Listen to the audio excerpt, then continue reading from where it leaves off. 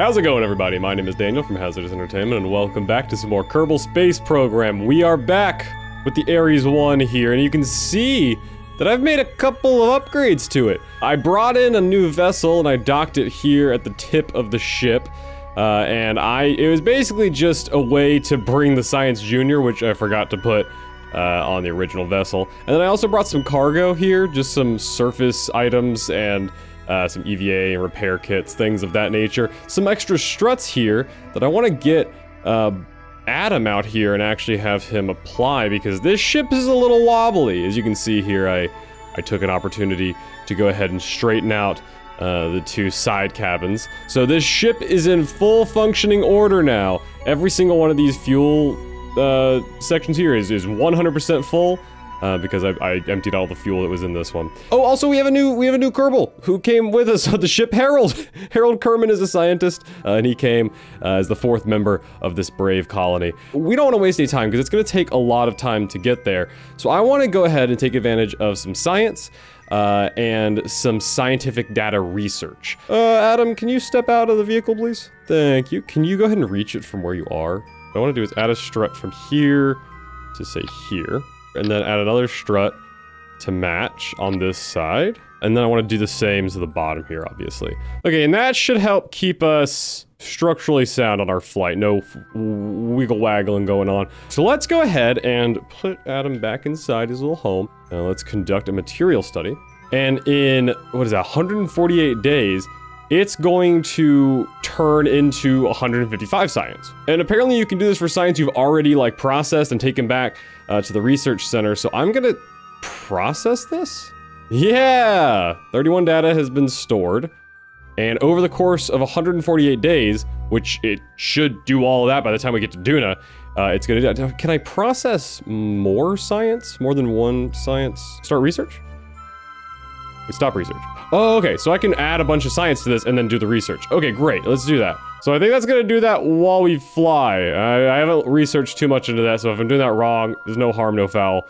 Uh, we've just wasted a little bit of time. Okay, let's go ahead and fly this puppy. All right, so let's make our, oh, so, so much debris. Let's turn the debris off, please. Let's make a node. Oh, oh I think we almost got a touching point. Oh, Oh, there we go. There's an encounter. Okay, great. We got a Duna king. We got a Duna encounter. Here we go. And that burn says it's gonna be a 20 minute burn. Yes, there really is the possibility that we will do a long burn. Like it burns so long that I can go make a cup of coffee, come back, and we'll still be burning. But the point is that I think if I turn these engines on, I don't think I've turned. Okay, activate this engine first off. Okay, turn the throttle off. activate engine and activate engine. And see, now we've got that down to six minutes. So it's still a long burn, but if we were just doing one engine, it'd be even longer. But what I want to do is make sure that our RCS thrusters are, because you can see they're, they're all over the place on this vessel. I want to make sure that they're evenly spread out. So Adam, will you get out of there for me? And will you move some RCS thrusters around? So I don't need them on this anymore. Also, I learned that you, so when we get to Duna, an engineer can lift more than he could on his own if more Kerbals are standing around. So when we get to Duna, we're gonna be able to like bring a bunch of Kerbals outside and we might be able to take off like the Thumper and a couple other things like like the things we don't need on this vessel anymore. We might be able to take off and salvage and and use for other things. We might be able to build a brand new rocket on the surface. I'm so excited for this episode. This episode is making me very excited because I I kind of self-taught myself a lot of this stuff that is going on in this episode. All right, so we're gonna turn RCS on, and that's gonna help keep us kind of with that pinpoint precision as our ship tries its best to to knock us off course. All right, so at, what is that? What is that gonna be? So six minutes, seven minutes, so three and a half minutes, three minutes and 25 seconds, we are gonna go for launch. Oh, here we go, here we go. We're coming up on it, here we go. All right, boost those rockets. Full blast, full blast where we're going. And that RCS is gonna, uh, uh, see, it's just, it's slightly moving, keeping us dead center on that. It's a perfect system. It's a perfect system. Look at our apoaps rise. What, so, uh, do I need RCS? let me double check, let me make sure. Actually, the ship is running pretty good without it. It was, it's not rotating as much. I must have fixed it, because when I tested this out, the ship was rotating up a storm. It actually looked kind of cool, because it was like spiraling as it went. So you guys still researching? Yeah, you guys are still researching. Level up crew. So can I level up my scientists without needing to land back on Kerbal? Could I have a level 5 scientist on Duna. All right, well, we are on our way. I'll just sit, I'll just sit here for a while. So what can I do? We could read a book. We could read a book. I'll pull up my phone, look at my phone a little bit. Oh, look, let me read the comments. All right. All right, while we wait, I'm gonna read some comments uh, on the last video. John the Bricklayer says, the chaos is great. Keep it up. Thank you, John. I, I, I intend to keep up the chaos. It's not intentional. It's never intentional. It's, it's all, it's all accidental and incidental. Sove Penguin says, I recommend the mod docking port alignment indicator makes docking less of a pain in the ass. I agree, it probably does. Um, I may install mods. I'm really thinking about keeping this like purely vanilla other than like a couple of aesthetic mods, like obviously I have Parallax and a couple others uh, installed just to make the game a little more uh, interesting to look at. But in terms of gameplay mods, I kind of want to keep it pretty vanilla. I mean, eventually, uh, if I grow a little tired of things, then I might do some additional mod stuff. I think this game is going to keep me pretty busy until Kerbal Space Program 2 comes out, and I'm really excited for when that comes out. But yeah, I may do mods, I may not do mods, but yeah, I, think that's kind of the fun part of this is that the, the docking is such a pain in the ass, but uh, you know, we, we may, I may look into that. Gabriel Wild says, it's so cool to see you getting better at the game. Thank you. I, I, I feel like I should be getting better at the game, but even still, I feel like every time I, I move forward one inch, there's another 10,000 problems in the way. Like, I don't, I don't even know how to fathom beginning to get to like Eeloo or what was the what's the big one the the big one farthest out the the the Neptune equivalent I suppose. Nub Nub Bud says the issue with your RCS is it's only on one end. KSP is a little dumb with it, but try moving a pencil sideways by only pushing the tip or the eraser. Your RC engines all need to be firing at max to stop it from rotating for the slightest lateral movement. Yeah, I think I fixed it. I think is this good? I mean, I've got because I've got the reason for that is because this has RCS on it, like little thrusters right here. This has RCS thrusters, and now this has RCS thrusters. And I bet I could optimize it even further, but I think this thing moves a little better now. Obviously, I don't need to dock anymore, we're just gonna be a landing. Uh, but I think as we saw with the, the RCS stable assist, I think it's working pretty well. All right, Apoaps is getting close. It's not where it is, but I'm hoping you still get that encounter without much need for adjustments. All right, there it is. There's a just stop. There's a Duna encounter. I don't want the RCS to fuck up our Duna encounter. Okay, is that good? How, what's that periapsis at? Oh, uh, yeah, that's... Hey, that's not bad. Okay, that's perfect. That's actually what I want. I want to be about 100,000. All right, so now we're gonna warp forward a little bit, a little bit of a ways. How many days? Nine days, 10 days, 11 days. Hey, there's the ship. How's it going? I might actually kill off these two engines. Just because, look, their, their fuel is getting lower. Um, and I might end up killing them off pretty soon. Is a Kerbin day five hours long? Or six hours long? I guess it is. I didn't know. I figured it was 24. All right. It's... I can't even see it. I can't get it with this camera angle. Come on. Whoa, why is it coming on the opposite? What did I... I messed something up. it's coming in on the opposite side. Was that taking into consideration if I did like a gravity? I don't, I don't know what I messed up. Either way, we're here at Duna. All right. How many days have passed? 45 days. It's been a month. It's been a month since Jumbles saw home. His friends all say he's getting space madness, but I say he's getting space badassness. What's this? Oh, is it because I hit an Ike encounter? Oh, weird. Oh, so I must have hit- I must actually hit an Ike encounter. That's- so that's what happens in my thing. We're, we're hitting an Ike encounter, and then it turns into a Duna encounter, so that- that's just- Eh, it's just luck of the draw. Either way, we get we get where we're going. We can always we got way more than enough fuel to fix things. It's all good. Let's watch as our little guy flies, huh? 200 days will pass. Man, where's the sun? Where's Kerbin? Is that Kerbin? That's Moho. Hi, Moho. How are you guys doing? How many snackies did you guys bring? Did you guys bring Funyuns? Fritos? Cheetos? Okay, uh, before we do anything, it's been over the days. I want to check our science. So did it did it process the science? Great, 0.44 science per day. Okay, here we are. All right, we're at we're at Duna now. Is that Kerbin? Hey, Kerbin, you look like a square. we can actually start burning now. Is this gonna be a long burn? Now, while this burns, we're gonna take this center fuselage here, and we're gonna fill it up with the remaining fuel that is in these last outer tanks here.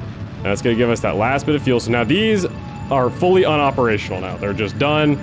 There's no more need for them. 10 minute burn. What are we gonna do for 10 more minutes? I got, I got, the, I got cool thing. You want, you want, you want to see some cool things? I got a cool thing to show you. My, my girlfriend and I decided to do some painting, and so I, I painted a canvas, or I'm working on a canvas right now.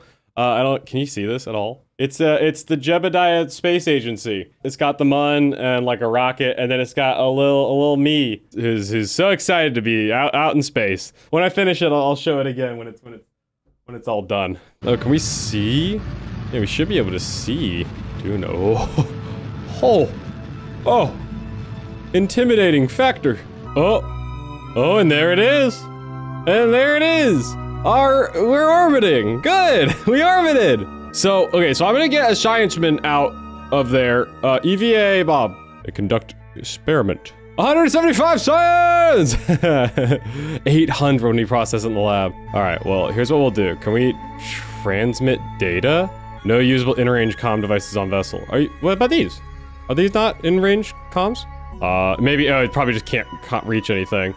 Uh, okay, well, here's what we'll do. Uh, collect the data, and let's serve some mysterious goo. All right, all right, 70 science. Keep experiment. Uh, so now if I go inside, if I if I beat a board, so if I pressed each of these, if I was like that, process in the lab, process in the lab, process in the lab. Oh yeah, so it's going much higher now. 6.2464 science per day. So how do I get that out? Do I just, I guess I just bring it home or I could transmit it in this, in the case of this, or again, we could bring a small vessel here and send it back. Okay, it's using up, well, this battery's at least using up more. I could technically repair these. Repair. They're repaired. So now, if since it's repaired, can he have it? he can have it. Put it on the main vessel. I don't even care where, really. I only brought two EVA repair kits. I didn't know how many. I didn't know if it was like a one-time use thing or or not. Let's see if that's enough to start getting positive, positive, positivity while we're while we're doing the science. So now, if that's happening, these should start filling up, right? Still no? Oh man, that science has taken a lot out of this. Okay, well, we'll have to think about that. Either way, we're gonna land. All right, landing time. Here we go. Decouple. And decouple. Oh, wiggle waggle. That that was a wiggle waggle situation, wasn't it? So as you can see here, we've got heat shields. We've got landing gear, um, which we could go ahead and actually deploy that landing gear. These aren't going to help us, but they actually could help us if we stu if we do start bouncing. They could help us kind of reorient. They're obviously I didn't look look. I didn't account for the fact that I would also end up putting another engine right here. So originally, you can see originally this worked perfectly. And I put another engine there.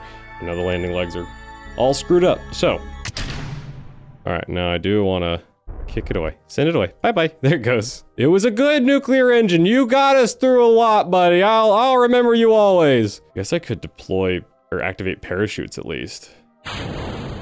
Oh, no, no, no, no, don't come out. Don't come out. Hey, you guys, stop, stop it. You guys don't need to come out. At least it worked. It finally worked. Finally got those uh, that action group to to function. Oh, we're way. Oh, we overshot our target. Looks like. Unfortunately, it looks like we overshot our target. That's okay. All right, everybody, everybody, look alive. We're coming in for a landing. Oh, here we go. Oh no, I broke my solar panels. I need. Oh God. Here we go. Here we go. Oh, something exploded. That was the nuclear engine, I do believe. We're still coming in pretty hot. Well, some of those haven't deployed yet. Hold on, they're about to deploy. Oh!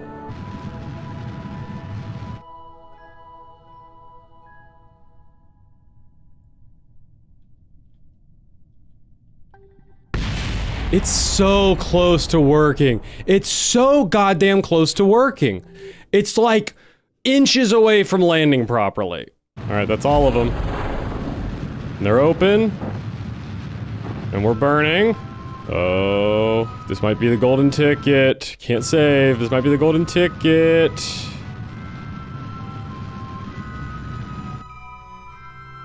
Oh. oh. That was the golden ticket! yeah! Look at that, guys. Hold on, move, move the ball. I can't see anything. Look at that! It's our first station! And again, we're gonna we're gonna make some adjustments to things. Okay, so I need to do this first. Pull everybody out. Oh my god, are you- Harold, are you to be the first to touch the surface? Oh, he fell. That's one small stumble for Kerbal. Plant the flag. Plant the flag, Harold. there it is. All right. The Duna colony. The future of Kerbal kind. Oh, live here. And you can do science. Everybody else, get out here. Get out here, guys. Come on. There you go. There you go. Oh my god, they're all here. So now we should be able to do this. I wanted to, I want to, I want to see if we can fix this up a little bit. So if everybody else is out here and said, they said it's a 60 kilometer radius, so you can move the thumper. Get the thumper off of there. We no longer require it. So what, how big of a part? They can't move these, these things, can they? Uh, I might have to do some off camera experimentation on getting the base more sick. Okay, so let's see about this. The problem I have right now is that, you notice here, I have a bay here. Inside this bay is our rover. Now, I think the rover will be able to come out. It, it, it should be able to come out.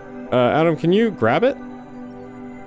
Uh, I can grab pieces of it. It's Can I detach it? Is it possible to detach? Because I accidentally attached it to the vehicle. Like, it, it's attached, technically. I mean, I could technically deconstruct it and reconstruct it, I guess. It's not really what I want to do. Well, well, this is why we made quick saves. Why does it explode? Why does everything explode? So my game started having like a bit of a, of a shenanigan there when I was reloading the save. I don't know. It just started, it freaked out. I think I've had the game open far too long. I've been playing this for, for a long time, doing a lot of nonsense. So thank you guys so much for watching. Remember to like and subscribe if you enjoyed and also leave a comment down below telling us what you want to see next. But as always, my name is Daniel and I'll see you guys next time.